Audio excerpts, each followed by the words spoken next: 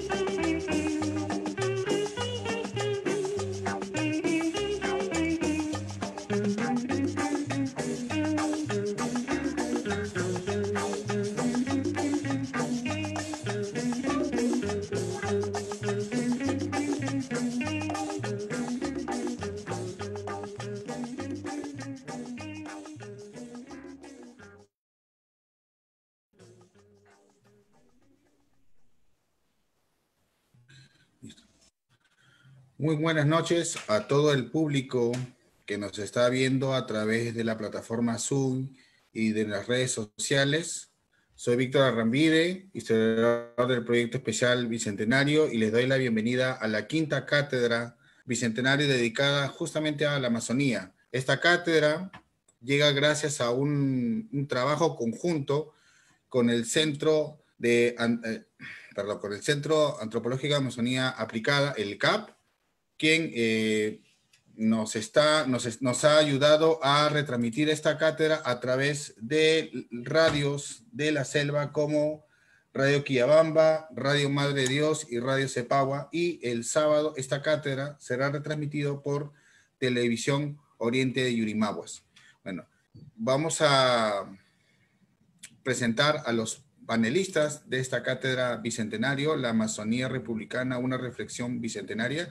En primer lugar, tenemos a Juan Carlos Lacerna, historiador y magíster en ciencia de la religión por la Universidad Nacional Mayor de San Marcos, docente de Historia de San Marcos, donde, está, donde tiene a cargo el Seminario de Historia Amazónica.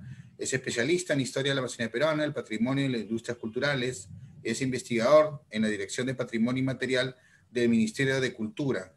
Es autor de varios libros, del cual quiero destacar El Bosque Ilustrado, Diccionario de Fotografía Amazónica Peruana, 1868-1950, que publicó con Jean-Pierre Chomeil, entre otras publicaciones con respecto a eh, la historia de la presencia adventista entre, lo, entre los ayánicas en la selva central, eh, de golondrinos y enganches empresarios exportadores, historia del café y el capitalismo cafetelero en la selva central, eh, y otros trabajos que ha tenido a cargo. Segundo lugar, tenemos a Luis Elvira Belaunde, doctora en antropología por la Universidad de Londres, docente principal del Departamento de Antropología de la Universidad Nacional Mayor de San Marcos y docente ordinaria de la Pontificia Universidad Católica del Perú. Ha sido profesora en la Universidad de Durham y del Museo Nacional de la Universidad Federal de Río de Janeiro. Es especialista en pueblos indígenas de la región amazónica, habiendo conducido investigaciones en Perú y Brasil. Enfoca sus investigaciones desde una perspectiva de género, las poblaciones locales, la cosmología y el arte de los pueblos amazónicos. Ha producido numerosas investigaciones entre los que destacan sexualidades amazónicas, género, deseos y alteridades, el recuerdo de luna, género, sangre y memoria entre los pueblos amazónicos, entre otros trabajos. Y luego tenemos a Cristian Bendayan, que es artista visual y curador, participó en numerosas muestras individuales y colectivas nacionales e internacionales. ¿no? Ha recibido numerosos premios, como el Premio Pasaporte para un Artista de la Embajada de Francia, el Premio del Público de la Fundación Telefónica, el Premio Luces del Comercio y el Premio Nacional de Cultura. Recientemente la muestra Indios Antropófagos, bajo la curaduría de Gustavo Muntix y Juliana Vidarte, fue seleccionada para representar al Perú en la Bienal de Arte de Venecia. Es autor de Amazonistas, El País de las Amazonas, 150 años de fotografía, entre otras publicaciones. Y también tenemos a Rembert Yahuarcani, que esperamos eh, se pueda conectar dentro de poco, que es pintor y escritor de origen huitoto, que ha participado en numerosas exposiciones artísticas en Argentina, Brasil, México, Ecuador, Dinamarca, eh, Suiza, Polonia y Perú.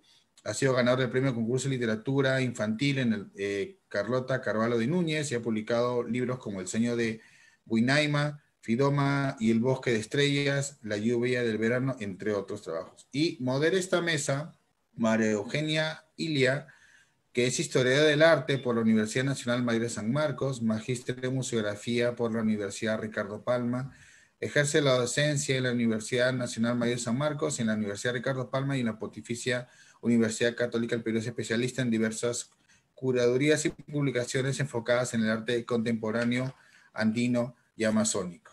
Bueno, como hemos, hemos trabajado en las anteriores eh, cátedras, la, discusión se, se, va a dar en dos rondas. La primera ronda más o menos entre 10 a 12 minutos y la segunda ronda más o menos de 5 a 6 minutos. Luego de eso va a haber una, durante la segunda ronda se pide a los, a los, al público asistente que la sección preguntas y respuestas empiecen a formular sus preguntas que luego vamos a a recoger, vamos a, vamos a ir seleccionando y se las vamos a alcanzar luego a los ponentes para que respondan en una tercera ronda de más o menos eh, cinco minutos. Bueno, si vas preámbulos y agradeciendo a la colaboración de, del CAP para la organización de esta, de esta mesa, doy pase a María Eugenia.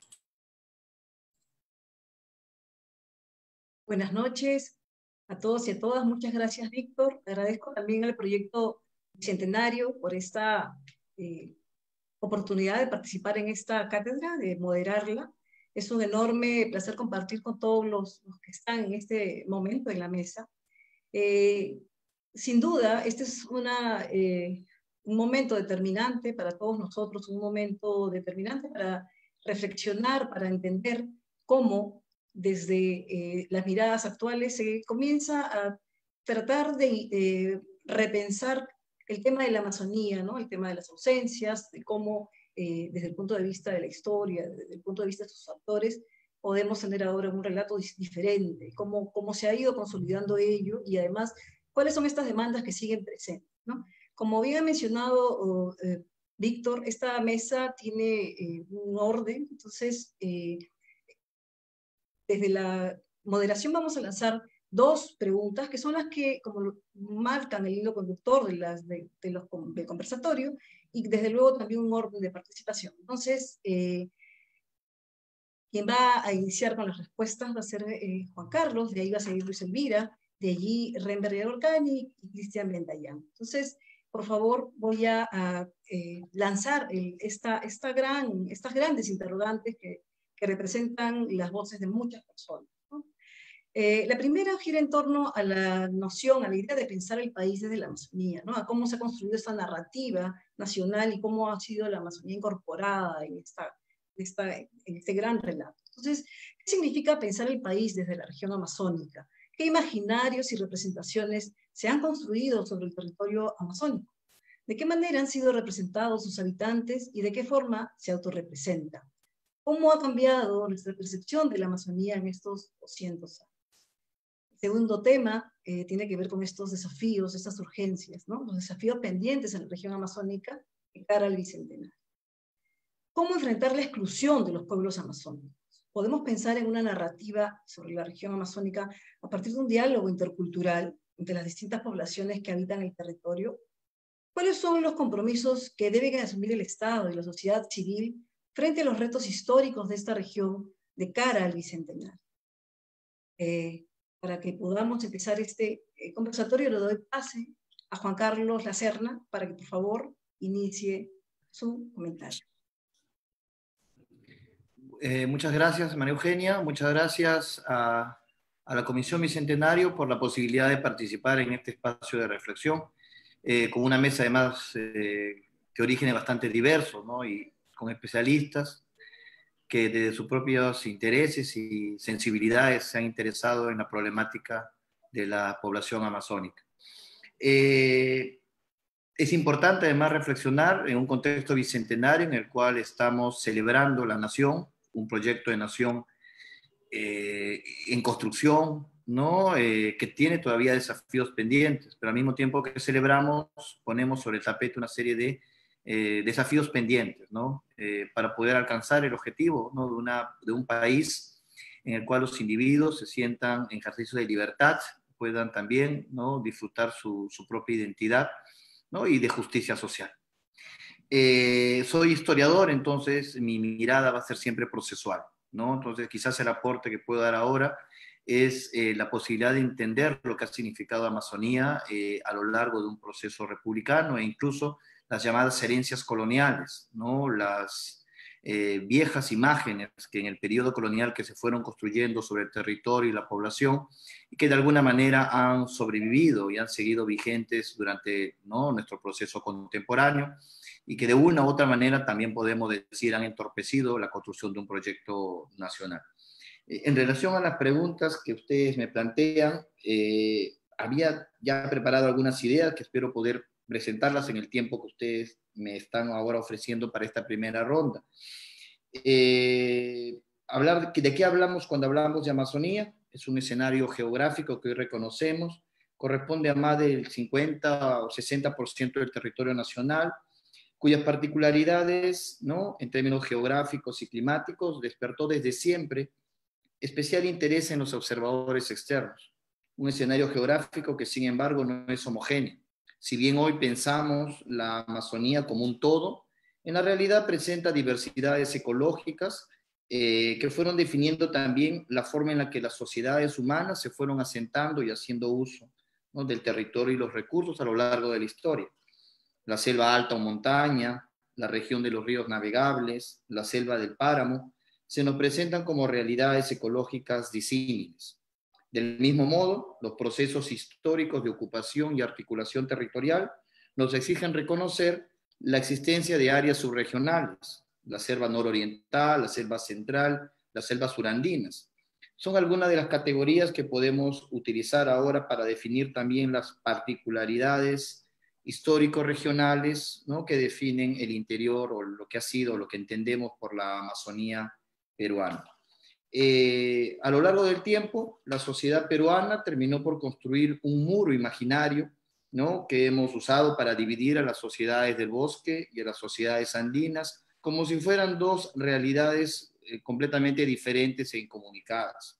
Los orígenes de esta frontera, debemos reconocerlos, son ante todo ideológicos consecuencia, por un lado, de esfuerzos fallidos del Estado colonial o incluso de los estados andinos prehispánicos por integrar las zonas productivas tropicales en las, lógicas de intercambio, reciprocidad y, tributación, así como también los esfuerzos inconclusos del aparato misionero colonial por reproducir los sistemas de nucleización dentro de estos pueblos. Estas experiencias, al no responder a los objetivos que los impulsaron, terminaron también proyectando la imagen de un territorio y una población que siempre se encuentra más allá de los confines de toda forma de control estatal.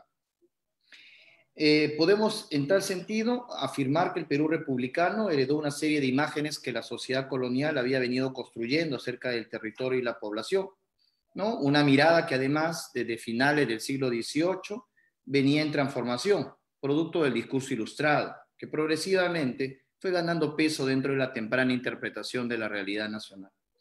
Así, la naturalización del territorio convirtió a la selva tropical en una fuente inagotable de recursos, que a través del trabajo y el emprendimiento debía ser explotada. Al tiempo que los indígenas, convertidos de infieles ahora en salvajes, debían ser transformados en sujetos productivos y a la larga en hipotéticos ciudadanos de la República.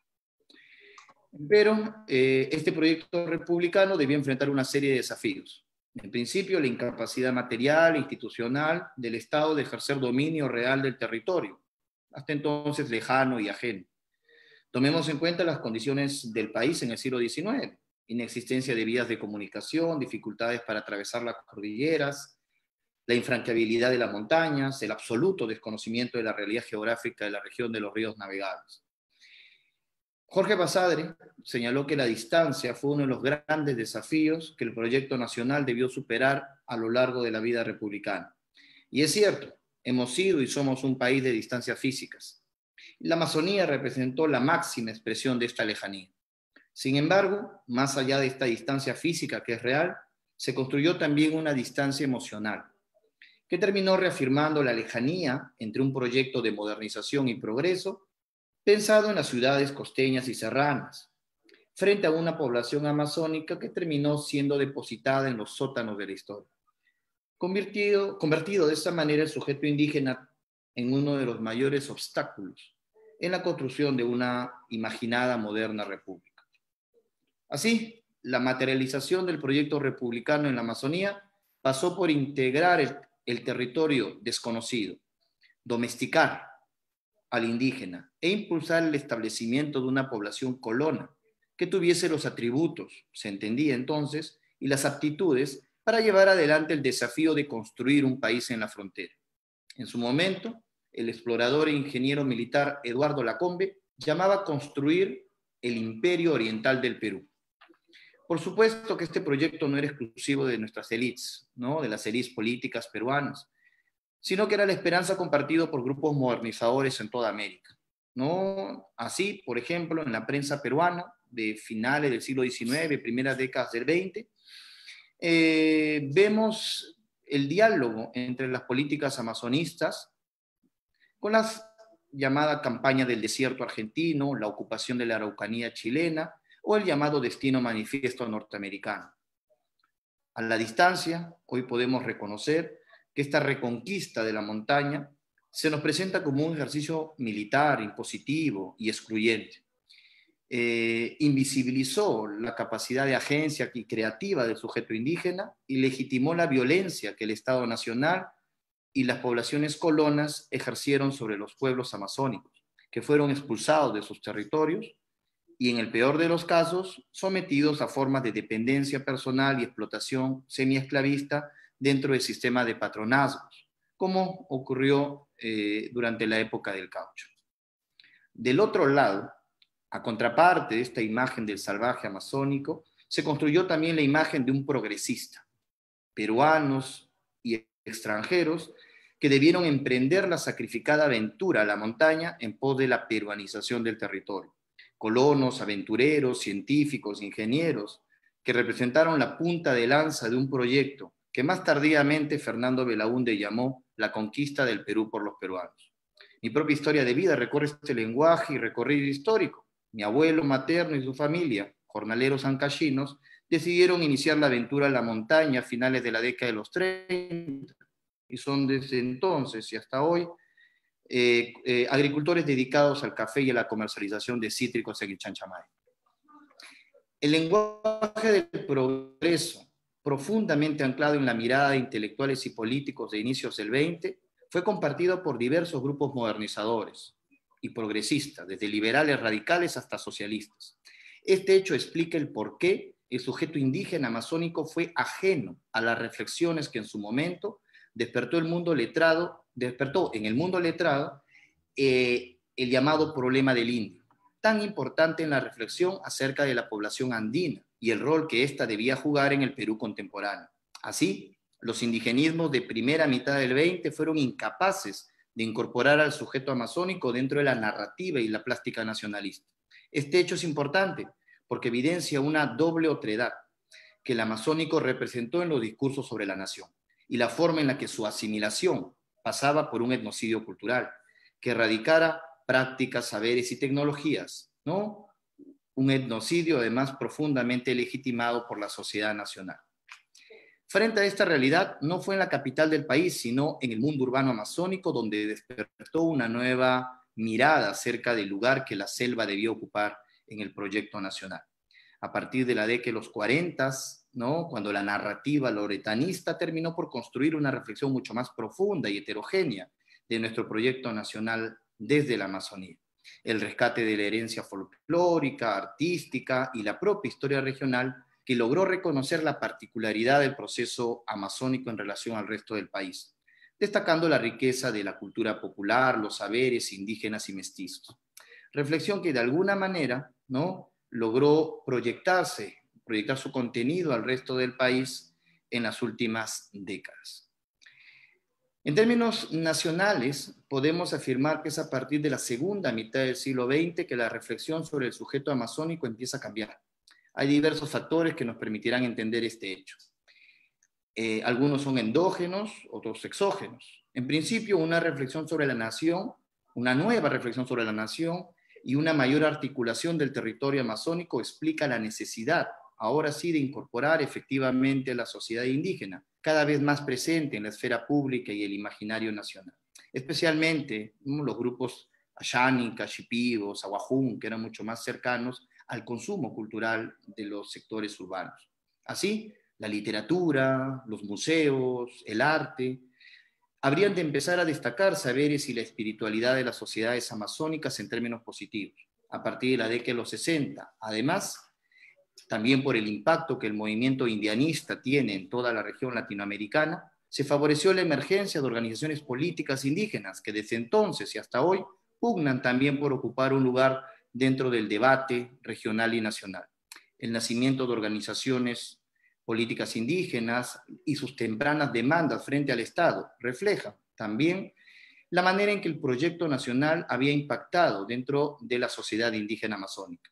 El derecho a la tierra, el acceso a la educación, la comercialización de productos, son en tal sentido las primeras demandas que organizaciones indígenas plantean tanto en la selva central como en la selva nororiental.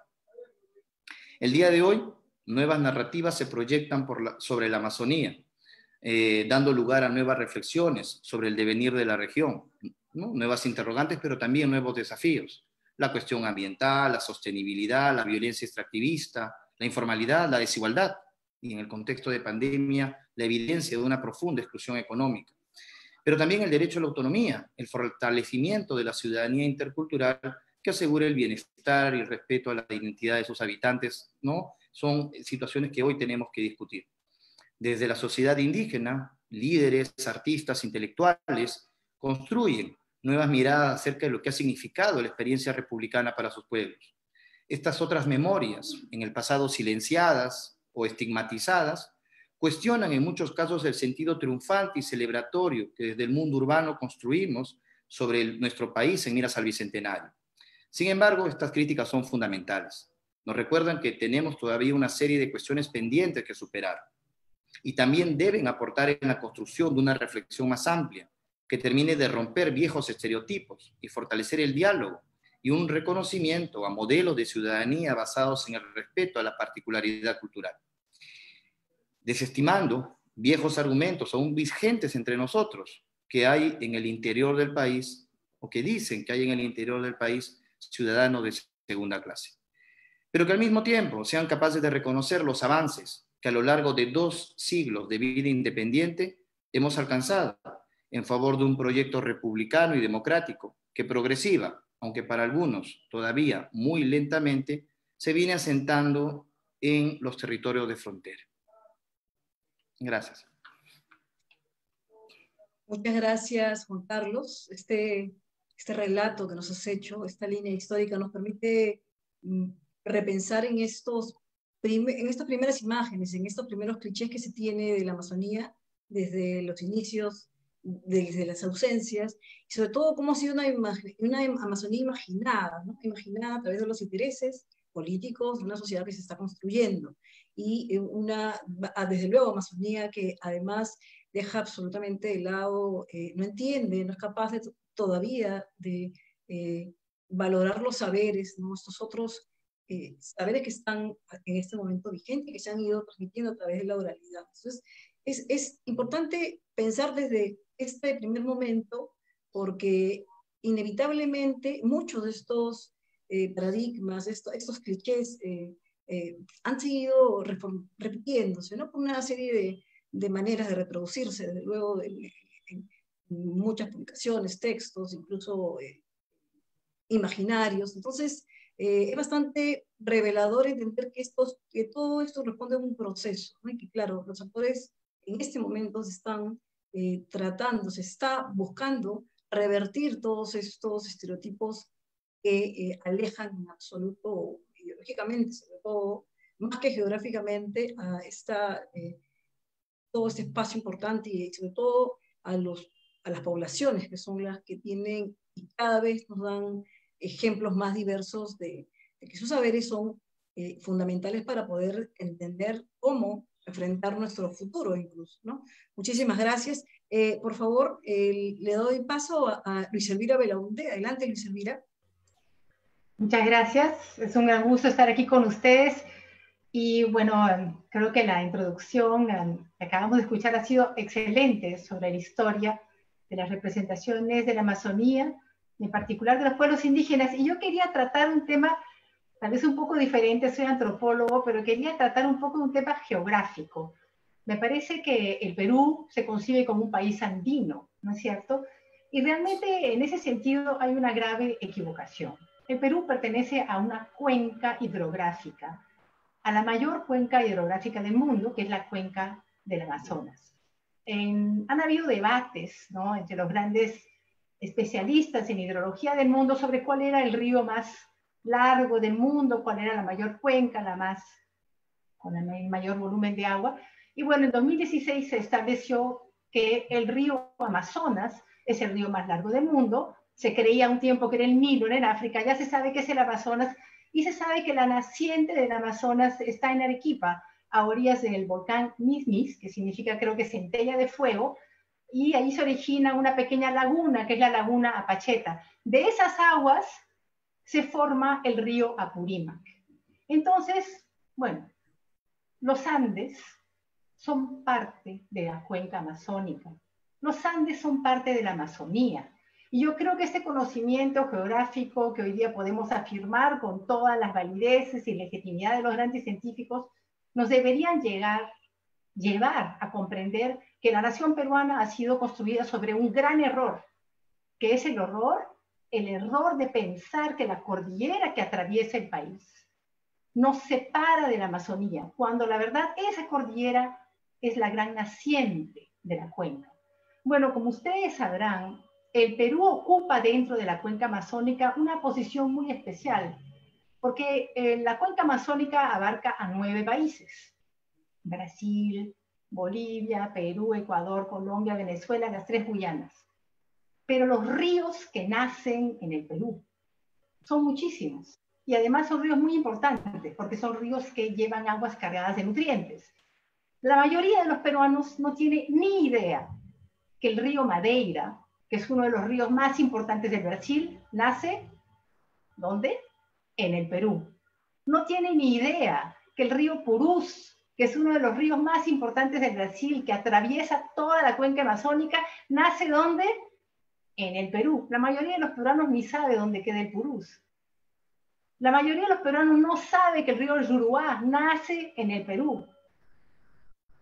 Claro, los peruanos sabemos que la palabra Amazonas para designar el río, para nosotros los peruanos está atribuida a la confluencia entre los ríos Ucayali y Marañón en la ciudad de Nauta.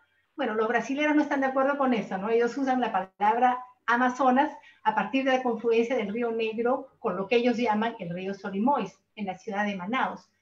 Pero el hecho es que lo que estoy apuntando es que si nosotros los peruanos nos diéramos cuenta que antes que nada los Andes son las nacientes principales de una enorme cuenca hidrográfica, cambiaríamos enteramente nuestra relación con el resto del continente y con todo ese territorio que está comprendido dentro de nuestras fronteras. Y ahí viene el tema fundamental, el tema de las fronteras. Porque el gran error geográfico del Perú con respecto a la cuenca amazónica también es un error de actitud hacia las fronteras.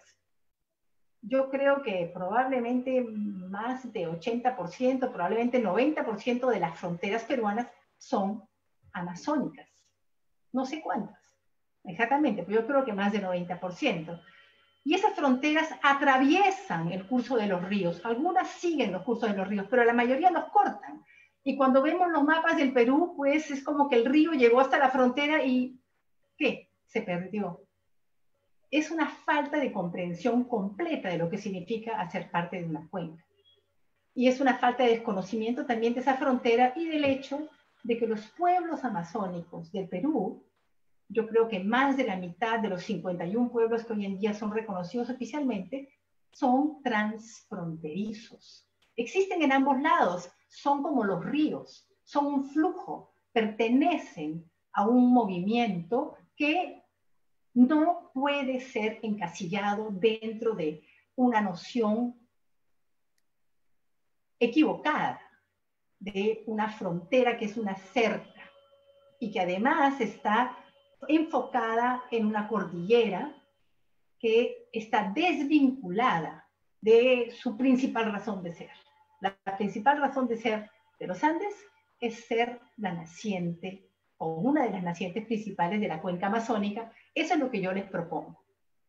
Y yo creo que realmente si es que el Perú pudiese de alguna forma entrar plenamente en un conocimiento de la hidrología de la cual hacemos parte, también asumiría sus responsabilidades y podría también aproximarse más al pensamiento de los pueblos amazónicos. Los pueblos amazónicos que son muy diversos, pero tienen un ordenamiento territorial en gran parte basada justamente en una lógica de cuencas, en una lógica de cabeceras y de la boca del río pero muchas veces la manera como ellos conciben la relación entre la cabecera y la boca es diferente de la nuestra. Nosotros pensamos que el río nace en la cabecera y que cambia o entra en otro río o entra en el Atlántico en la boca. Sería el caso, por ejemplo, de la gran cuenca del río Amazonas, nace en los Andes, por lo menos de nuestro lado, nace en los Andes, y ahí recorre todo el continente y entra en el Atlántico, en el estuario de Belén. Es una manera de verlo, pero para muchos pueblos amazónicos, ellos consideran que es un poco al contrario. Y esto viene, por ejemplo, en relatos antiguos, lo que nosotros llamamos mitos. De muchos pueblos, estoy hablando de manera general. La idea es de que antes había un gran árbol, que era el árbol del universo, que mantenía una separación entre la tierra y el cielo. Este gran árbol, debido a razones diversas contadas en estas historias, cae. Y al caer, ¡pum! su huella queda dibujada en el continente sudamericano. Esa huella del árbol, con sus raíces, el tronco principal, las ramas y todas las ramitas, es la cuenca amazónica. Entonces, lo que corresponde al estuario en Belén es la raíz el río Amazonas es el tronco principal.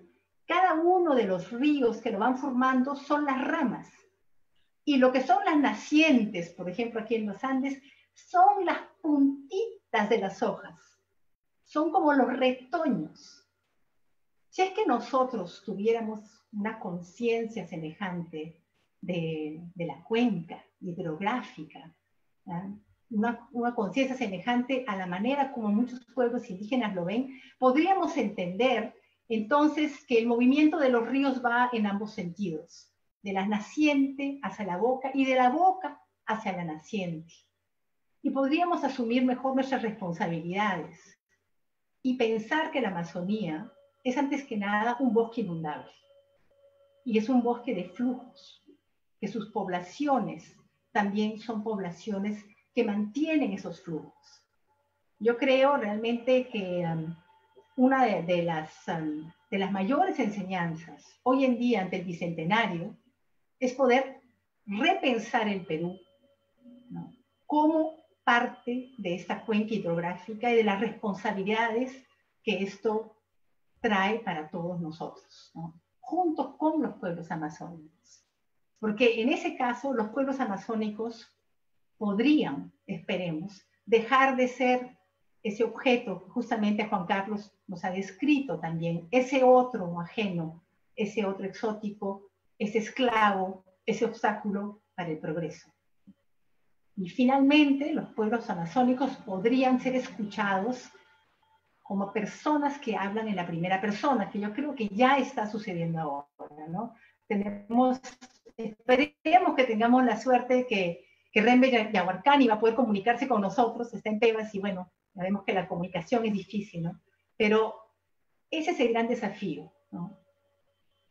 Escuchar al otro como alguien que habla en primera persona, que tiene una filosofía propia, que tiene una comprensión propia del país, no del Estado, no de las fronteras arbitrariamente construidas que desconocen los flujos, sino del país como vivencia, y una vivencia que está, digamos, calzada sobre los flujos. Entonces, eh, bueno, esa es eh, la primera cosa que quisiera contribuir en, esta noche. Muchas gracias, Luisa. efectivamente, lo que comentas también tiene mucho que ver con esta necesidad de descolonizar nuestra manera en la que hemos ido aprendiendo de lo que la Amazonía es, ¿no? Tanto desde la mirada política centralista, que nos ha explicado bastante claramente Juan Carlos, y también entender cómo es la percepción que los mismos pueblos tienen de su propio espacio. Una de las últimas, una de las cosas que son más importantes y que podemos ver en los últimos años es, bueno, gracias a, a distintas eh, investigaciones y desarrollos de disciplinas, es, por ejemplo, la, el, desde la arqueología, cómo hay una serie de registros y desde luego además que tienen que ver también con, se corresponde con los mitos de presencias por ejemplo, eh, en la costa de, de, pueblos llanes ya, y estamos hablando de presencias milenarias, es decir, había un entendimiento del espacio, del, territorio totalmente distinto al que nosotros ahora hemos construido, o por lo menos desde, desde una mirada política se maneja. ¿no? Y también esta idea de, de, pensar que la Amazonía se ha desarrollado eh, sola y es un espacio exuberante porque los climas, el microclima, el, el, el ámbito que se da en estos territorios la ha hecho así. En los últimos años comenzamos a entender que la Amazonía es, eh, y en general esa diversidad es, es, una diversidad que ha sido además trabajada por el hombre. La Amazonía no, es, no se ha hecho sola, no, no tiene esa eh, diversidad de recursos eh, de manera espontánea y natural. Ahí hay una un gran caudal de saberes y de conocimientos milenarios. Entonces, comenzar a, explorar y entender eso, creo que es una de las mejores eh, experiencias que podemos tener desde esta mirada, ¿no? Bueno, siguiendo el, orden, le voy a dar el paso a, Cristian. Cristian, adelante, por favor.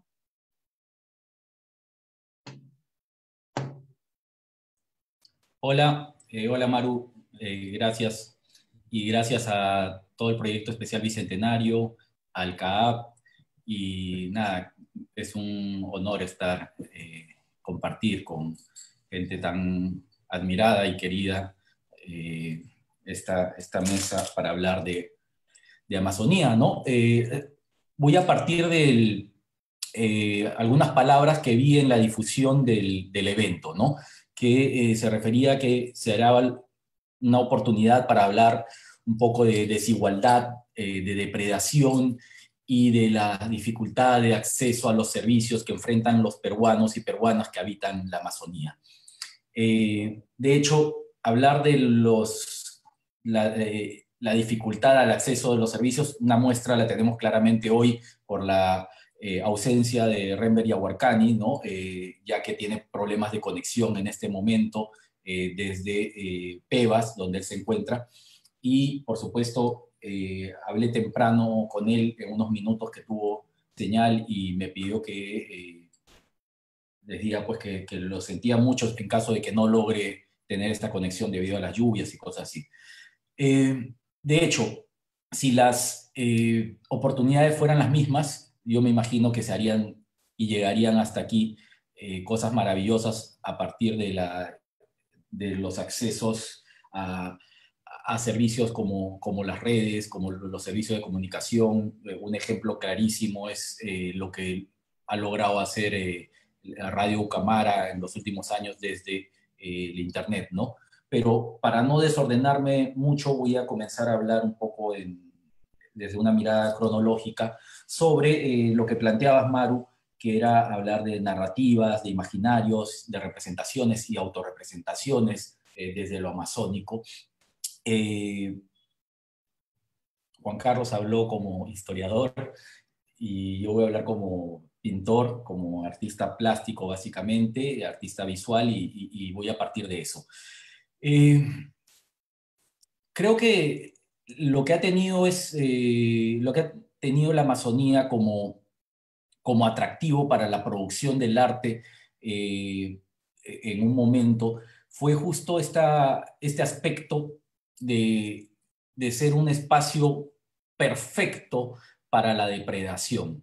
es otro de los temas que, que, estamos hablando hoy y es que se ha visto la Amazonía siempre como un espacio de depredación, de explotación, y desde el arte mismo también se empezó a, generar eh, una gran producción así. El arte existe en la Amazonía desde siempre, o sea, ha sido parte de la vida de los hombres y mujeres de la Amazonía, era parte de su vida cotidiana, era parte de su espiritualidad.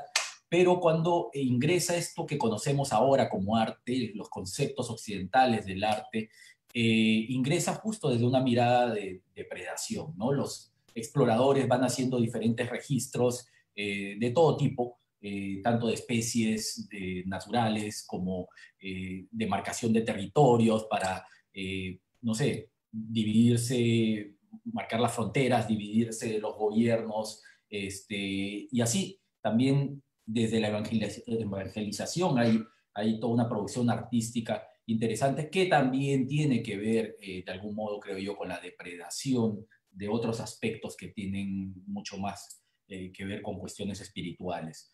Eh, luego aparece esto que Juan Carlos es un especialista, que es la fotografía y todo el despliegue, el potencial de, de, esta técnica a lo largo del territorio amazónico, ¿no? desde su llegada al Perú prácticamente y en la década de 1860, pues vamos viendo cómo la fotografía empieza a ingresar también bajo un interés eh, básicamente eh, para integrar a esta región a lo que es el proyecto republicano, con fines de depredación, con fines de explotación, con fines de enriquecimiento eh, de, parte del Estado.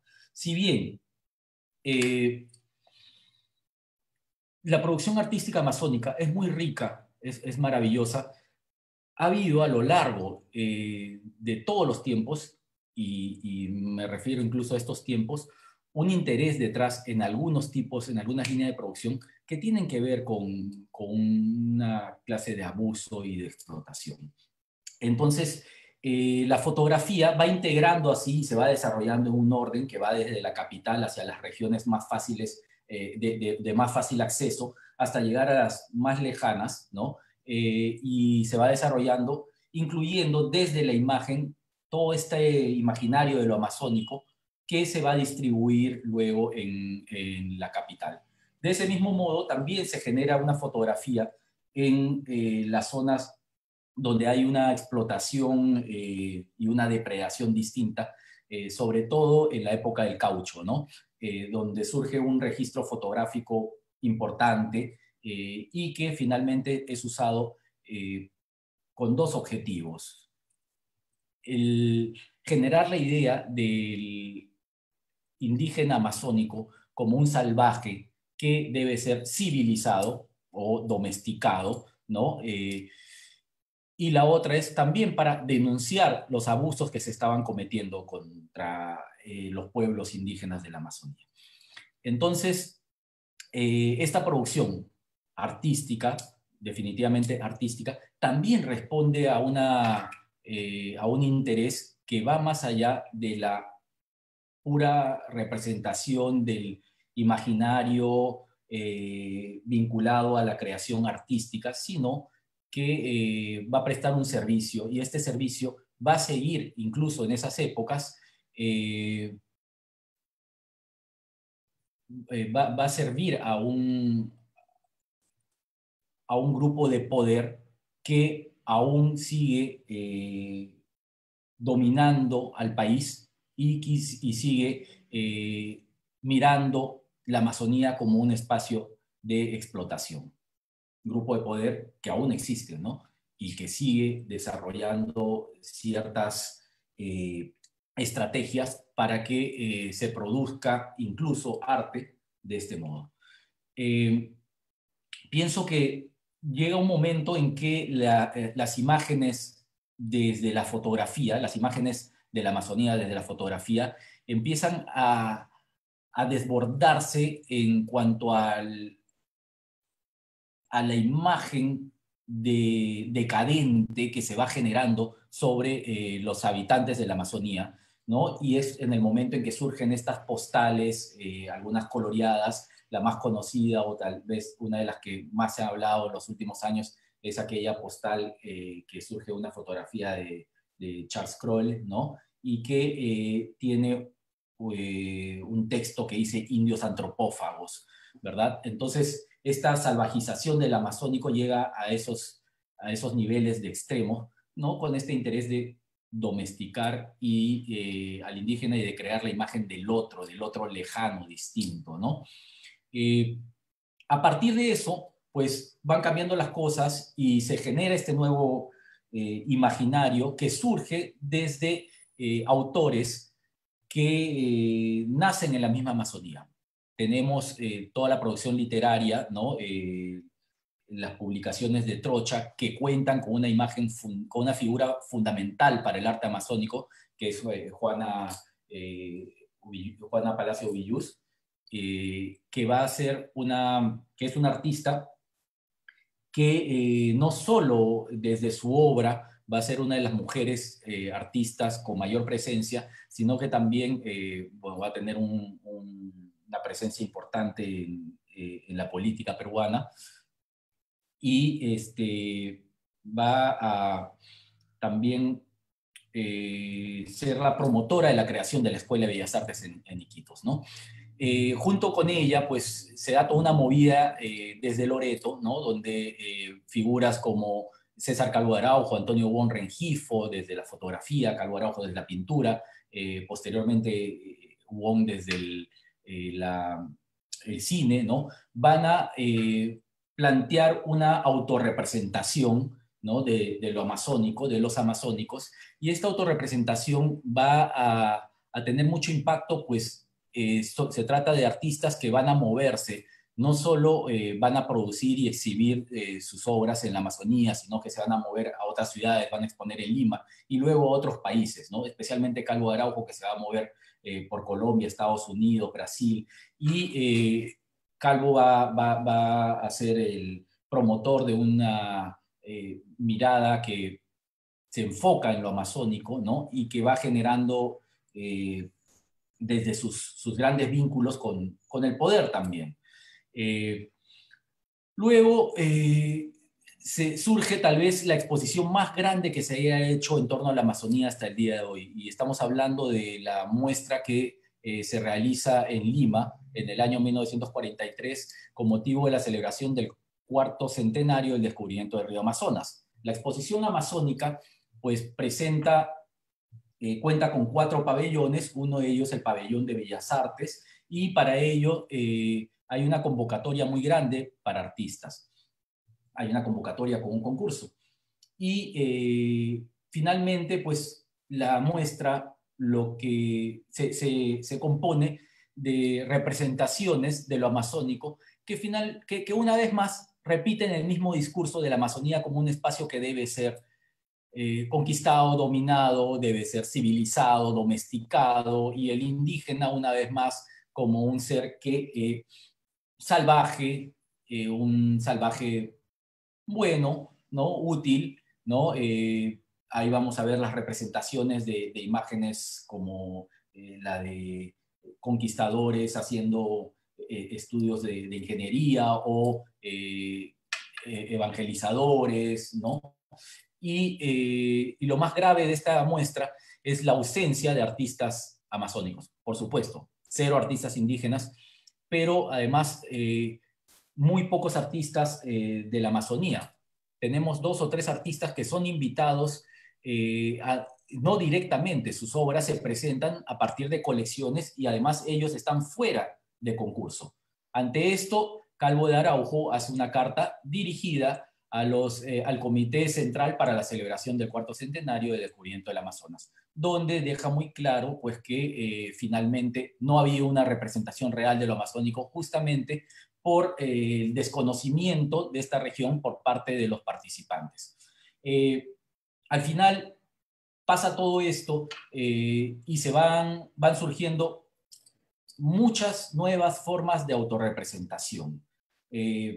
Conocemos pues toda una línea surrealista amazónica, lo que conocemos como, como arte visionario, que tiene figuras como Yando Ríos, Pablo Amaringo posteriormente, ¿no? y todo este vínculo que tiene con el chamanismo y con estas eh, miradas mucho más subjetivas. luego vamos a tener toda una nueva corriente eh, de arte abstracto, amazónico, eh, y así van a surgir muchas eh, líneas productivas interesantísimas, ¿no? Pero que van a tener más bien un reconocimiento tardío. Si bien en su momento gozan de cierto reconocimiento, creo que ahora, después de 30, 40 años que comienza esta producción, realmente se está incorporando en las páginas de la historia oficial del arte, ¿no? Y este reconocimiento tardío va de la mano, y es curioso esto, va de la mano con eh, un boom que tienen dos líneas productivas que no pertenecen más bien al campo académico, que no pertenecen al campo formal y que surgen más bien desde la producción indígena y desde la producción popular urbana, ¿no? Eh, todo este arte callejero, fluorescente, vinculado a lo psicotropical y todas estas corrientes eh, nuevas eh, van a, de arte indígena van a abrir las puertas para hacer una mirada retrospectiva hacia toda la producción amazónica. Es, muy interesante y muy valioso que, que, sean justo estas dos líneas las que hayan empujado toda esta, esta mirada. Pero, como hablaba Luis Elvira, yo creo que el arte hay que verlo también como estas corrientes a las que se refería, ¿no? De flujos, de conexiones, ¿no? Eh, porque las corrientes artísticas de la Amazonía son así, creo que están conectadas unas con otras, con vertientes, con afluentes, con momentos de creciente y actualmente un momento de desborde. Eh, creo que el, el, arte hay que verlo también como lo plantea casi toda, casi la totalidad del arte amazónico. El arte, el humano, y el territorio como una unidad. Entonces, eh, corrientes del arte que han surgido como eh, la que conocemos mucho y eh, María Eugenia Ilia es una especialista, la más grande especialista en esta línea, creo yo, la corriente surgía en el Ampillacu, ¿no? donde están artistas como Víctor Churay, Bruce Rubio, toda la familia Churay, este, Rember y Santiago Yahuarcán y Nereida López, eh, Darwin Rodríguez, eh, tiene todo una, genera, ha generado toda una nueva mirada sobre, sobre lo amazónico, ¿no? No solo desde la autorrepresentación, sino que están también mirando y representando lo que ven del país, y es a lo que vamos, creo que en este tiempo, ¿no? Necesitamos esa, esa voz en primera persona desde lo indígena que nos hable también de nosotros como los otros o, parte de, una unidad. Entonces, las corrientes eh, como la del Ambiacu, las corrientes del Ucayali, como el Quené, todo el nuevo Quené, donde también el territorio tiene una relación fundamental con el arte. Eh, Luis Alvila, especialista en esto, sabe que eh, el maya quené, por ejemplo, representa los ríos, ¿no?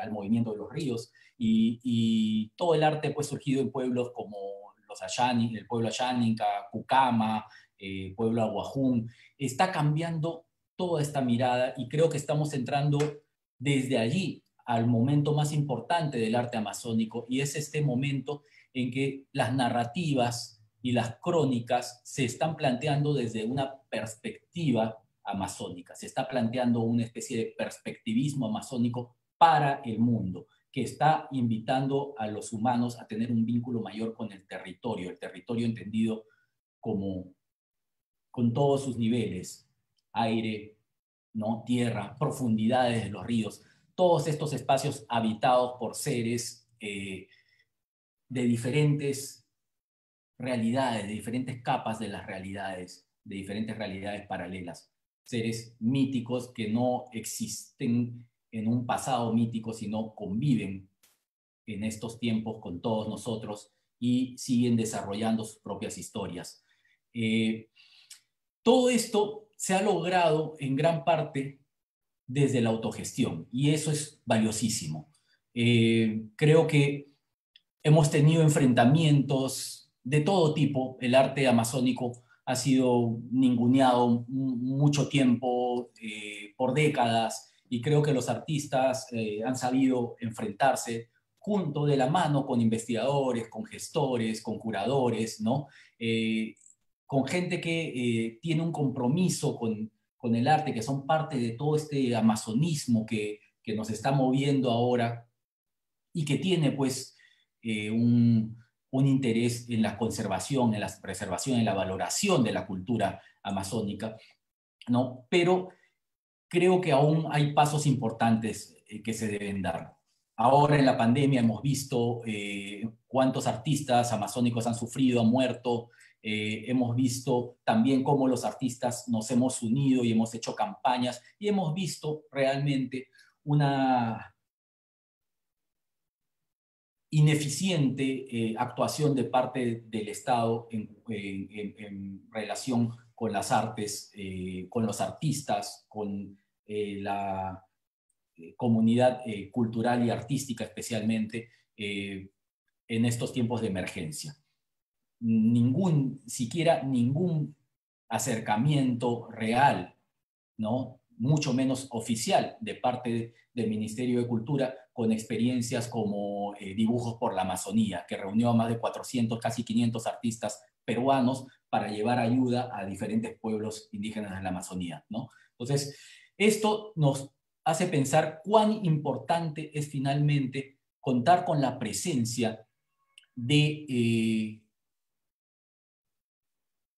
por ejemplo, eh, especialistas que sean originarios de pueblos indígenas en la administración pública, ¿no? Y finalmente, para cerrar, no extenderme, eh, creo que tiene que haber este trato de igual a igual con el artista indígena, también en la administración eh, del Estado, en la administración del arte por parte del Estado el, arte indígena no puede seguir siendo tratado únicamente como una producción relegada al área de lo intercultural o simplemente como algo que, es visto como patrimonio inmaterial. El arte amazónico actual es arte contemporáneo totalmente eh, preparado para enfrentar los espacios eh, más eh, importantes del arte contemporáneo del mundo creo que si bien la naturaleza creativa del pueblo amazónico, mestizo y nativo, nunca pudo ser dominado, y más bien se ha mezclado, se ha transformado, se ha revelado, se ha enfrentado a sus sensores, muchas veces con sentido del humor, con lujuria, con, desborde, diríamos ahora, ¿no? con imaginación sobre todo. Eh, yo creo que ha encontrado sus propias vías de autogestión. Y en la actualidad, creo que el arte amazónico goza de un interés nacional e internacional como ninguna otra producción surgida en otra región del Perú, lo cual ha sido resultado de este esfuerzo de múltiples actores, como decía, pero que también representa un riesgo grandísimo en este momento. Un riesgo que podría convertir al arte amazónico en una especie de caucho del siglo XXI. De esto ya hemos hablado antes y eh, me parece que es un riesgo latente. Gracias. Muchas gracias, Cristian. Eh, tu reflexión también eh, permite nuevamente repensar todo este tema desde la construcción de, este imaginario, ¿no? que, también Juan Carlos ha mencionado, que presenta al individuo, al, poblador amazónico como un sujeto instrumentalizado, como un eh, proyecto moderno, es decir, como una parte de un engranaje, pero nada más. Incluso eh, es algo que, es bastante importante porque eh, todos estos estereotipos pues han estado presentes, los han acompañado durante mucho, mucho tiempo, se han anclado, se han convertido en una suerte de hábito de, nuestra visualidad. Y sin embargo, eh, eh, en estos últimos años hay desde luego una mirada bastante eh, interpeladora, ¿no? Hay una mirada muy distinta. Importante también mencionar lo que tú señalas, ¿no? Que hay una propia tradición artística, en, por ejemplo, en Loreto, en Iquitos, y que estos agentes son muy diversos entender que el arte es todo un sistema. El arte en general, el sistema artístico es bastante amplio, complejo, en fin, no me voy a eh, playar mucho, pero, pero los artistas indígenas han formado y comienzan a formar parte de este gran sistema y han buscado ellos mismos sus espacios, ¿no? sus lugares. Y lo han hecho eh, de un modo que, como tú dices, es eh, algo inédito para, para, aquellos que conocemos la trayectoria o nuestra historia del arte, sobre todo las artes contemporáneas. Y, y, y también algo que, que, no quiero dejar de mencionar y que tú has puesto eh, en relevancia, ¿no? Es esta, no solamente agencia, este poder que tienen los artistas. Remberg lamentablemente no está acá, pero seguramente él tendría muchas más cosas que decir al respecto, pero eh, son los artistas eh, quienes están comenzando ellos mismos a revalorar, a buscar la información, a, a conocer sus propias memorias es algo importante porque eh, nos habla de un cambio muy, muy valioso en, en, relación a cómo ellos se auto, eh, se han comenzado a, a, redefinir, sus, su, posición política. ¿no? Eh, el arte es fundamental para entender la Amazonía. indudablemente, creo que todos los que estamos acá lo, lo tenemos muy claro. ¿no?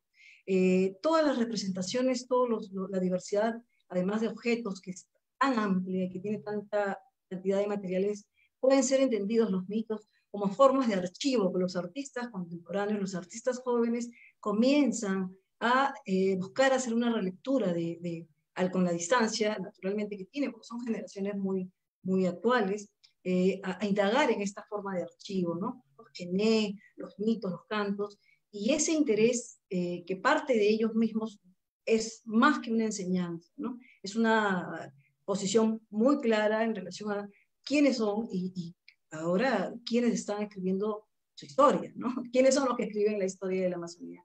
Creo que eso es lo, más estimula, eh, lo que más nos estimula en estos últimos años. Entonces, eh, ahora vamos a dar eh, la segunda ronda, en el mismo orden, por favor. vamos a dar paso, por favor, a Juan Carlos. Sí, gracias no sé, a partir de, las, presentaciones anteriores quisiera apuntalar dos, dos ideas que, me van rodando la, cabeza. ¿no? La primera, en relación a la, reflexión que nos ofreció Luis Elvira, esto que llamaríamos la comprensión del territorio.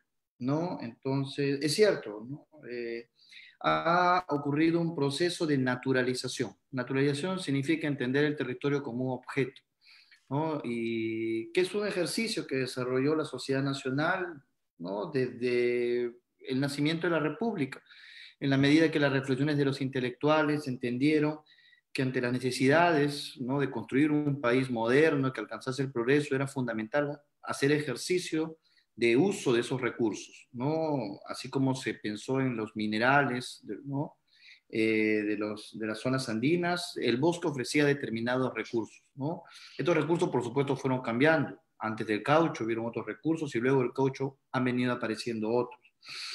Es fundamental, por supuesto, eh, repensar esa concepción de la naturalización del territorio. ¿no? Y es quizás hacia donde nos llevan hoy día estas nuevas miradas que tenemos acerca del bosque amazónico. ¿no? En ese sentido, como bien dice Luis Elvira, reflexionar acerca de la comprensión que la cosmovisión que las eh, culturas indígenas tienen acerca de la relación entre el sujeto del ser humano, eh, el bosque y el río. Y eso es fundamental, además, como una necesidad apremiante en un contexto en que tenemos que repensar eh, los usos de los recursos, los manejos eficientes de los territorios en, un afán de sostenibilidad. ¿no?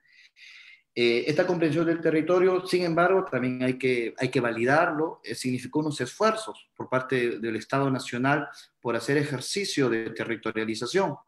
¿no? por conocer ¿no? en términos científicos, en, en términos geográficos, un territorio que era bastante, bastante complejo. ¿no?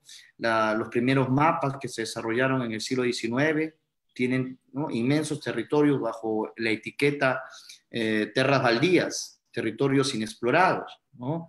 que evidencia además eh, las limitaciones ¿no? del Estado Nacional para poder hacer ejercicio de control del territorio. Esto lentamente se ha ido superando en un largo proceso en el cual como bien dice Luis Elvira, en términos de las todavía pendientes definiciones fronterizas con los estados nacionales vecinos, es todavía un, proceso que debe seguir siendo reflexionado, ¿no?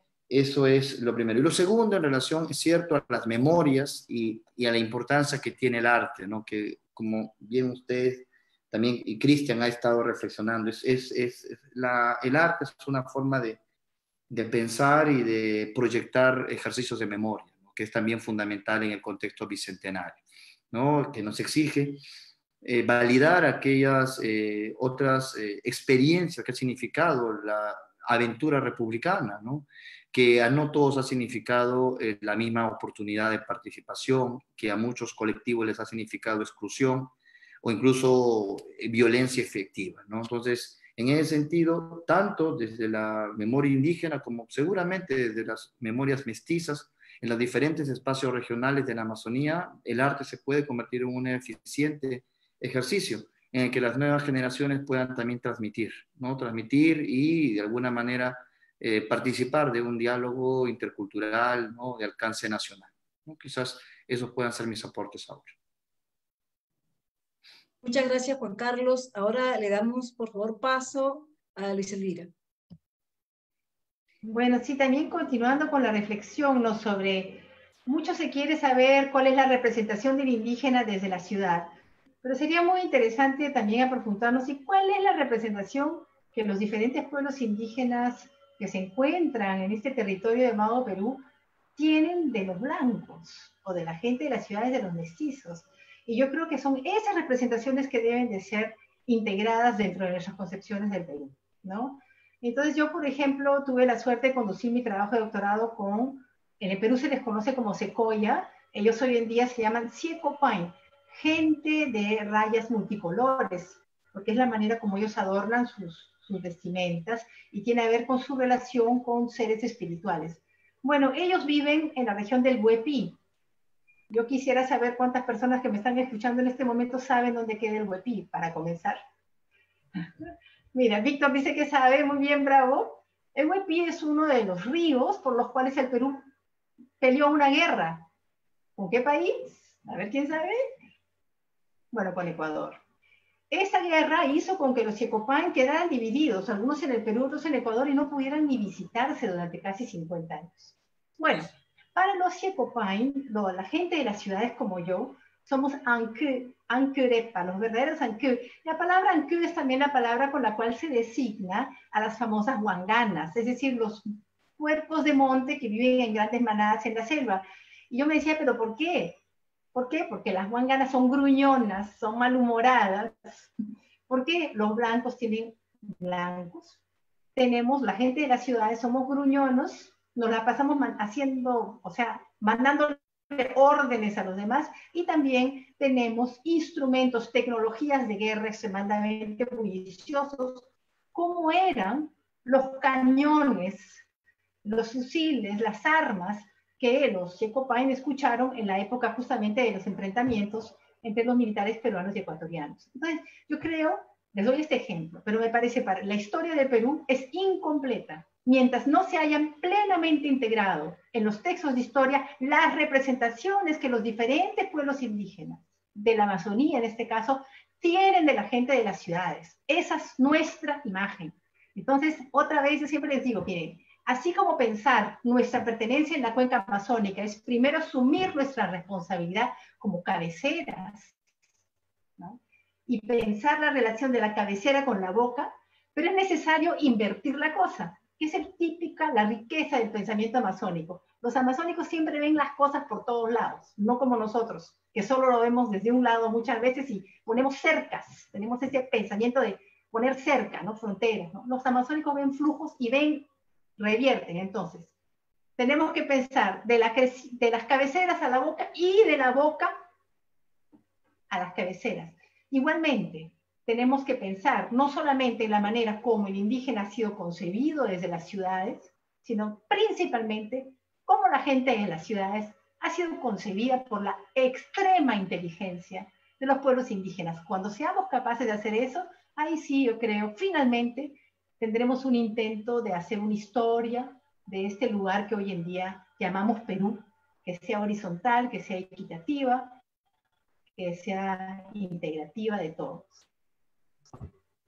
Y creo que el arte definitivamente es una de las esas maneras, ¿no? Pero no solamente el arte, hay muchas cosas que vienen de otros discursos en los cuales el pensamiento indígena, su reflexión profunda sobre lo que son las ciudades, um, se expresa y que nosotros necesitamos conocer y comprender para comprendernos a nosotros mismos.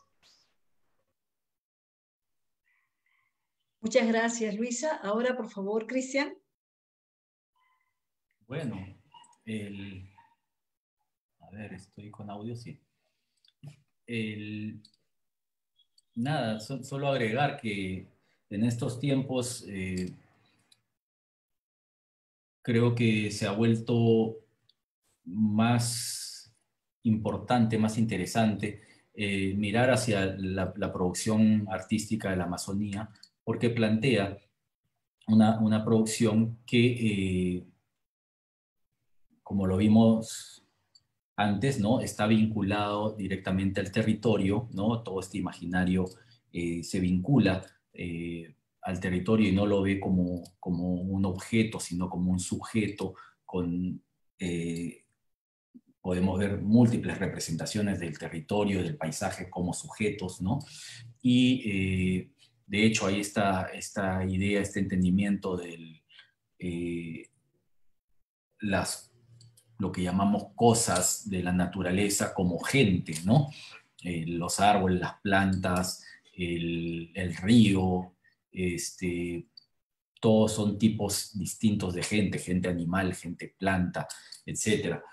Eh, eso hace pues, que haya este, esta relación equilibrada entre eh, gente humana con estas otras gentes y eh, la producción vinculada a los materiales naturales, a los tintes naturales, si se hacen con el cuidado respectivo.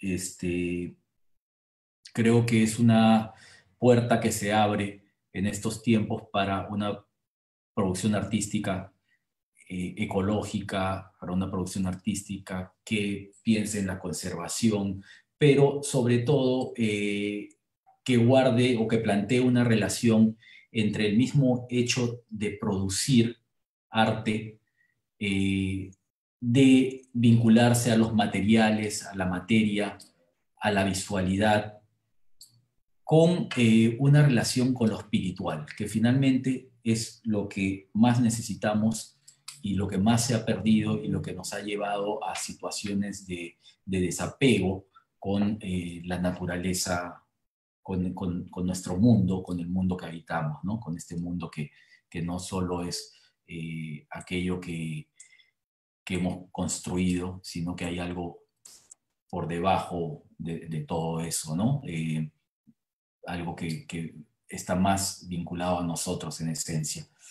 Creo que el mirar hacia el arte, el arte amazónico nos abre eso y eh, completar lo que decías, Marugenia, sobre esta reescritura de la historia, que es importantísima, porque es una eh, reescritura que eh, por solo contar, poner un par de ejemplos, eh, las narrativas del caucho que hace Santiago Yahuarcani, donde eh, hay episodios que no han sido narrados, que no han sido narrados desde la escritura, que no están registrados en la escritura, donde hay matanzas, diferentes tipos de castigos, diferentes tipos de torturas hacia los, a los huitotos, o eh, estas narrativas de Enrique Casanto, artista Shaninka, que habla de la eh, rebelión de Juan Santos Atahualpa, que va acompañado de este, estos guerreros que son como seres mitológicos, ¿no? que, que, sus cuerpos son una, una fusión de animales o de plantas o de flores con humanos, ¿no?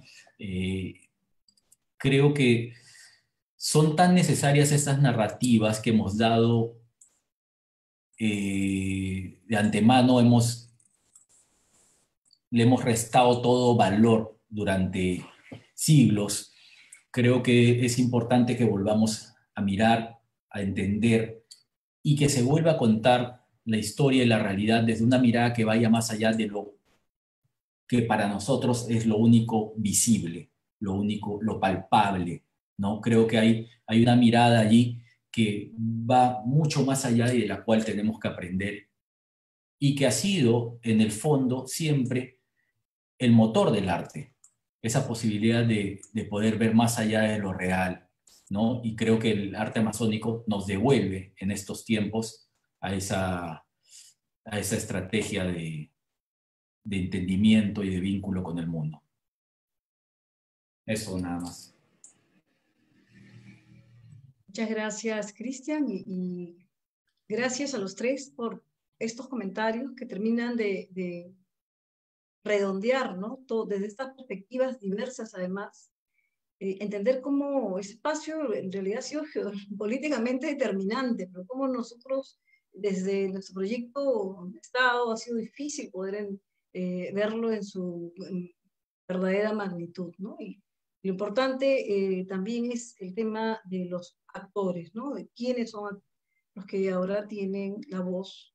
Eh, y bueno, en ese sentido es clara la ausencia de, de, Es, en realidad, lamentablemente, esta mesa quedó incompleta sin su participación y eso hay que, hay que dejarlo claro, ¿no? Porque hay muchísimos aportes que él sin duda tendría que.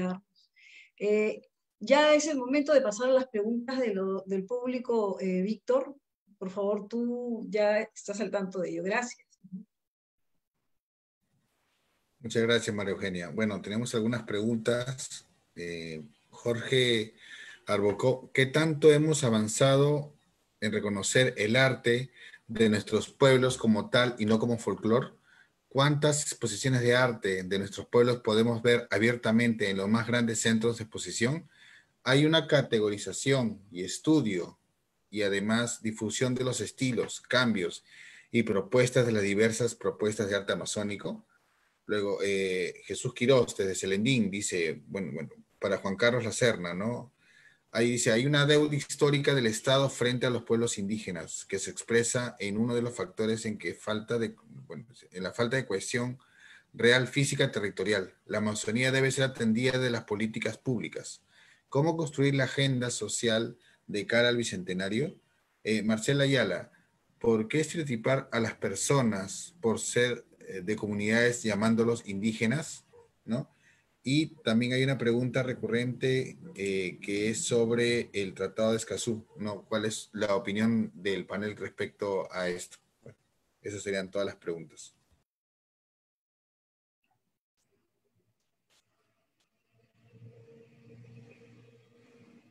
Entonces, eh, Juan Carlos.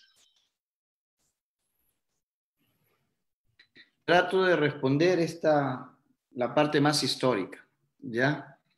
Eh, cuando entendemos desde la historia, una, intentamos hacer una comprensión de la sociedad en la que vivimos, lo primero que insistimos es que nosotros ofrecemos una mirada procesual. En la mirada procesual reconocemos los esfuerzos, los avances y también las limitaciones.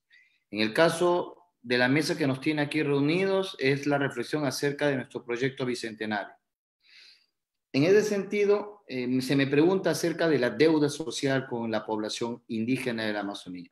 Hay una deuda, es, esto es evidente. Pero yo insisto en que a veces no caigamos en anacronismos. Anacronismo significa reclamarle al pasado lo que exigimos hoy a la sociedad, al Estado y a la nación. El Estado Nacional Peruano Republicano ha tenido una deuda con diferentes sectores sociales. La idea de un Estado benefactor, de un Estado que ofrece servicios, no se desarrolla sino hasta bien entrado el siglo XX. Deuda social tiene con la población urbana, popular, con la población andina. Por supuesto, la lejanía, esto que hemos discutido desde el inicio de la mesa, la lejanía física y la lejanía emocional en relación a los sujetos andinos y amazónicos, agudizó el problema de la deuda, eh, retardó las posibilidades de llevar adelante procesos de ofrecimiento de servicios, incorporación real a este sueño de la nación. Eh, eso es algo que hay que reconocer. Entonces, hay eh, estos ciertos desafíos que todavía quedan muy pendientes y que son fundamentales que reflexionemos en espacios como este. Al momento de pensar en, en coyunturas específicas de crisis como esta que estamos viviendo, ¿quiénes son los más vulnerables? Ah, la vulnerabilidad tiene que ver con la falta de acceso a recursos que permita que un colectivo pueda acceder al bienestar que otros tienen, a la seguridad que otros tienen. Y es evidente que diferentes colectivos en la Amazonía sufren de esta vulnerabilidad, sean indígenas o no. Entonces, esa es una deuda pendiente que aquí estamos reflexionando y seguramente en otras mesas bicentenarias también se está llevando adelante dichas, dichas reflexiones, ¿no? Entonces, eso en relación a la deuda social, ¿no? que todavía queda pendiente, en relación a diversos sectores de nuestra sociedad. ¿no? Es algo que estamos discutiendo, nosotros desde la historia discutimos permanentemente y también en general se, se plantea como parte de los desafíos bicentenarios. Gracias, Juan Carlos. Por favor, Luis Elvira. Bueno, son varias preguntas. Yo comenzaría por la primera sobre la utilización de la palabra indígena efectivamente es un estereotipo, también es una palabra que responde hoy en día a leyes internacionales como el convenio de la OIT y los convenios de, la ONU, pero creo que en ese sentido, a nivel de, las leyes internacionales, sería mejor utilizar la palabra originarios, ¿no? Pueblos originarios. Eh, las propias autodenominaciones de los pueblos amazónicos, cuando son traducidas al castellano, la verdad significan gente, ¿no? Las personas se autodenominan como gente. Yo creo que comprender lo que significa ser gente es uno de los grandes desafíos ah, desde la ciudad. Y efectivamente es un concepto que pone en marcha todas una serie de relaciones cosmológicas, de las cuales han hablado un poco Cristian. Yo misma no voy a hablar, bueno, yo soy antropóloga y realmente si comienzo a hablar de las cosmologías amazónicas no paro. Ah, entonces, ah, pero definitivamente yo creo que ese cambio de terminología es esencial. ¿no?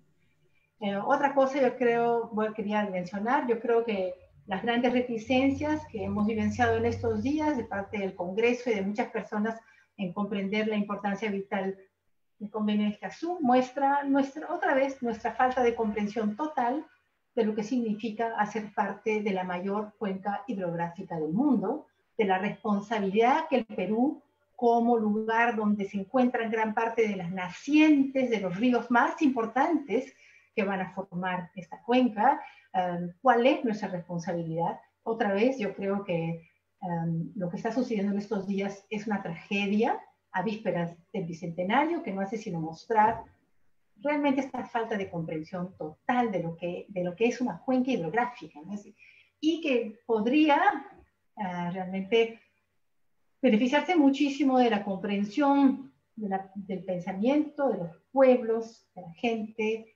amazónica, que es gente de un bosque inundable. ¿no? Ahora, rápidamente sobre el arte, ¿no? las categorizaciones del arte. Bueno, yo misma em, he sido, así como Cristian, pero desde la antropología, una actora, bastante, he participado mucho, ¿no? yo, misma escribí el expediente de patrimonialización del CNE hace ya más de 10 años, he acompañado a varios artistas, ¿no? Y es cierto que el conocimiento de las diferentes eh, tendencias em, es algo que está surgiendo. Em, bueno, María Eugenia, que también trabaja con eso.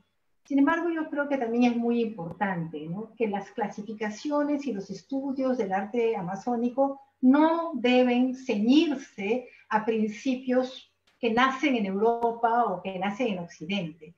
Debe de hacer ese esfuerzo, ¿no? Por entender lo que es la producción de cuerpos, la producción de artefactos, la producción de sustancias desde los diversos pensamientos amazónicos, no solamente en, digamos, en las comunidades, sino también en este tránsito hacia las ciudades, ¿no? Y en todo, esta, todo lo que está sucediendo hoy en día que es muy fuerte y, y que está sucediendo, ¿no? Cristian también mencionó, por ejemplo, los trabajos maravillosos que Leonardo Tello, que es un comunicador Cocama, está haciendo con Radio Camara. Son producciones artísticas poderosas, con jóvenes de diferentes pueblos indígenas que son estudiantes universitarios, que a través de videos y de performances, de poesía, de danza, van a generar nuevos universos de significados. Entonces, um, es necesario que nuestras formas de comprensión de las artes indígenas contemporáneas sea también creativa, acompañe la gran creatividad uh, de los diferentes pueblos. Muchas gracias, Luis Elvira. Eh, Cristian, por favor. Bueno, totalmente de acuerdo con, con, Luisa en lo que mencionó sobre la forma en que eh, se está haciendo una especie de categorización, de calificación, de clasificación de la producción artística. Eh, sí hay un interés en, en, aquello, en ordenar, al menos en eh, mapear las diferentes producciones, ubicarlas por zonas, por, eh, por tiempos, por fenómenos a los cuales están vinculados, todo eso, pero hay que hacerlo desde una mirada pues eh, innovadora, desde aquí, sin tener por qué seguir eh, patrones eh, foráneos, ¿no? Creo que justamente en eso radica la, la, riqueza del arte amazónico, en que impone sus propias perspectivas. Y eh, sí hemos avanzado mucho en eh, diferenciar el, el, arte amazónico, el arte producido en la Amazonía, de lo que es el folclore, sin restarle importancia al folclore, por supuesto. Eh, cada producción artística tiene lo suyo, pero eh, los tratamientos que se le ha dado al folclore o que se le da al folclore con respecto al de las artes, pues es, es muy distinto, lamentablemente, a veces.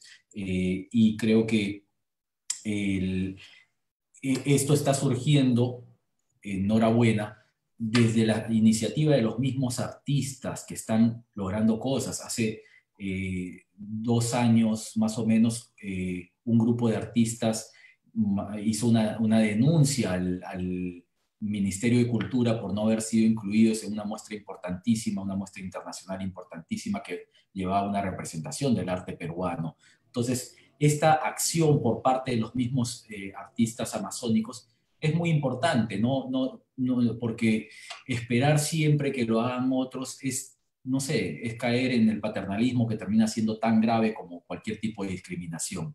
Eh, más bien, creo que el, eh,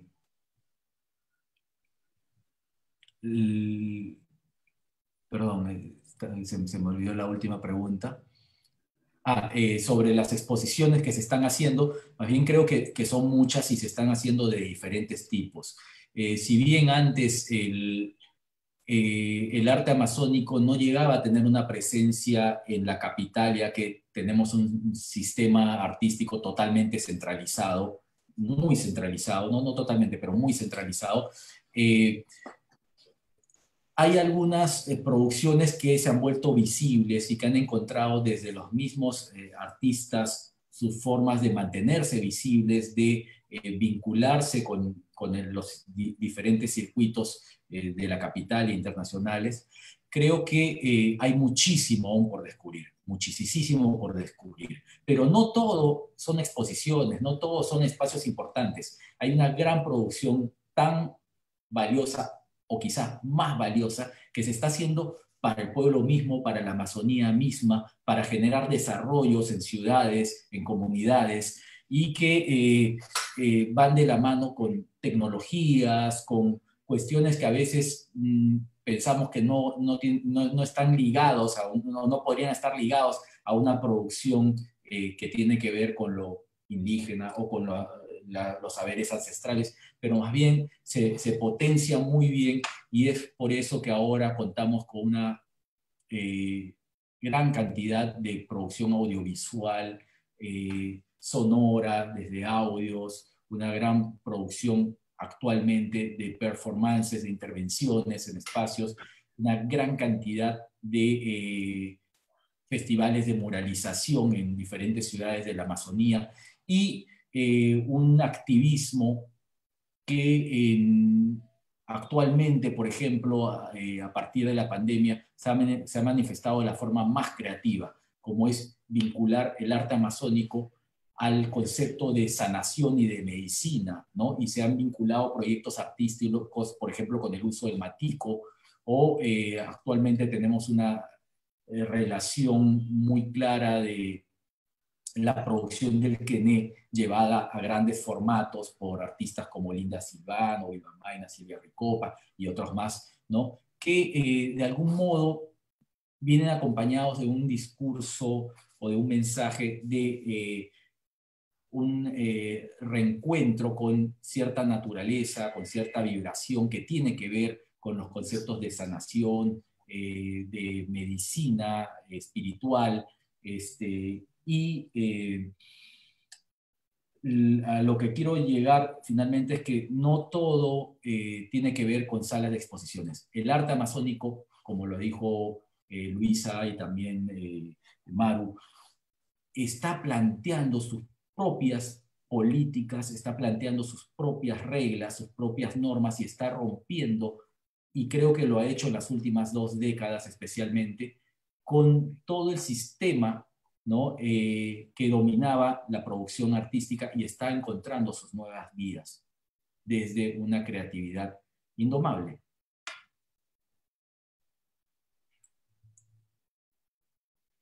Eso sería Muchas gracias, Cristian.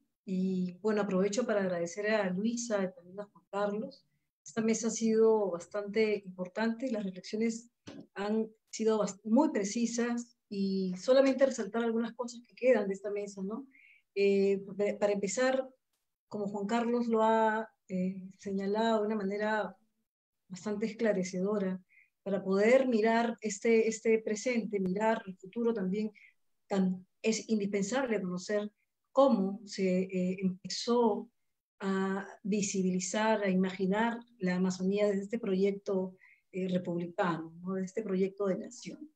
Ello, eh, teniendo una lectura crítica de todas estas ausencias, sin duda podremos establecer algunas, algunos diálogos y algunas situaciones que puedan darse en, en el futuro. Podemos pensar en mirar un futuro, ¿no? Otra cosa que, queda también y que es muy valioso es la necesidad de repensar el espacio y las cuencas hidrográficas que Luisa eh, ha señalado de una manera muy clara y que creo que rompe eh, también el, relato tradicional, ¿no? romper eh, nuestra percepción de cómo se dan estos, estos espacios y además los ríos que son tan, son las venas, son tan importantes para poder comunicar y, no solamente ideas, objetos, y cómo, qué ha significado ello en, en, la vida, no solamente de los pueblos amazónicos, sino en general de todo nuestro territorio. Finalmente, el tema del arte, que es, sin duda uno de los que más atención tiene por, en distintas esferas en los últimos años, eh, me parece importantísimo lo que dicen y, ya esto sí lo digo como historiadora de arte, desde hace mucho tiempo el arte eh, andino y el arte amazónico tensionó los modelos y los cánones de las artes occidentales. Eh, hay muchos investigadores eh, que trabajan no solamente el, el, arte de los pueblos originarios amazónicos, sino también eh, poblaciones andinas, que han puesto en evidencia que hay que recrear los modelos, ¿no? hay que, es necesario repensarlos y entender que las manifestaciones desde estos espacios estas eh, maneras de entender y de relacionarse con su territorio está reflejado en muchos de los objetos que se han producido. La responsabilidad y la urgencia de, poder establecer su aporte en, las artes plásticas y las artes visuales en general es algo que se está construyendo y, creo que es valioso e importante. Eh, también, y con esto termino, eh, resaltar la, la, emergencia de artistas, ¿no? Conocemos mm, los nombres que, que, hemos dicho son muy famosos, también tenemos artistas Haram, ¿no? Por ejemplo, Jessica Patiachi, Luis Tayori. Hay muchos espacios desde donde se están construyendo nuevos relatos.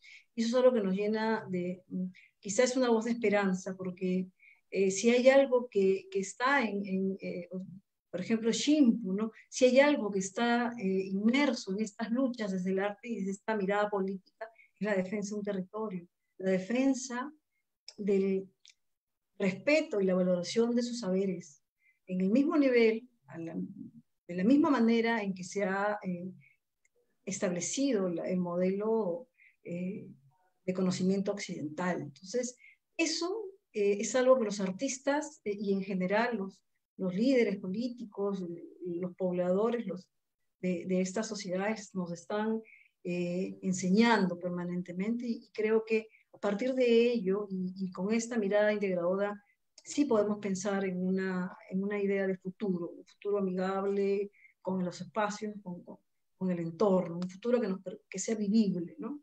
La pandemia nos obliga incluso a, a ahondar en ello.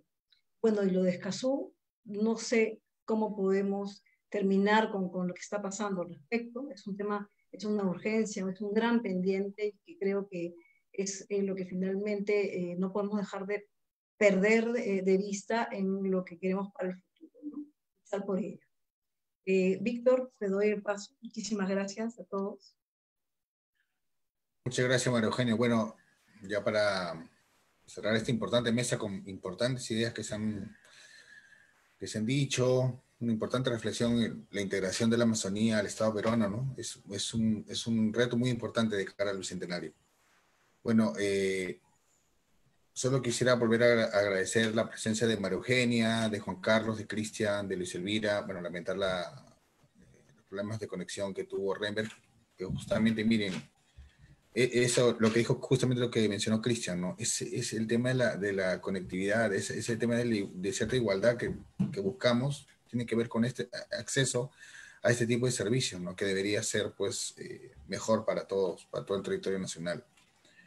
Bueno, antes de cerrar esta cátedra, quisiera hacer algunos anuncios. Bueno, nuestra próxima cátedra va a ser el 4 de noviembre. Se titula Los retos de construir una memoria. Obviamente estamos hablando del, sobre la memoria del conflicto armado interno. Ya pronto vamos a anunciar este, los ponentes eh, y las inscripciones. Y este 23 de octubre a las 7 pm vía la, el, el, Facebook Live de Bicentenario tenemos eh, la presentación de los concursos. Ya va a haber, eh, se va a anunciar unos cursos de formación para postular a los concursos de arte del Bicentenario. Va a haber cursos de arte y pedagogía, gestión cultural que va a ser dictado por el grupo Yuyashkani y gestores culturales regionales. Bueno, eh, queremos agradecer nuevamente al Centro Amazónico de Antropología y Aplicación Práctica, el CAP, por organizar esta mesa con nosotros y a las, a las entidades que nos han estado retransmitiendo en la cátedra, ¿no? el comercio, el Día del Comercio, Radio Quillabamba, Radio Madre de Dios y Radio Cepagua. Y, y gracias al apoyo del, del CAP, este sábado, la cátedra será retransmitida este sábado vía televisión en la televisión Oriente de Yurimaguas. Eh, sin más, bueno, si nos largamos la mesa, muchas gracias. Hasta la próxima oportunidad. Por favor, cuídense mucho y si salen, mantener la distancia. Un abrazo.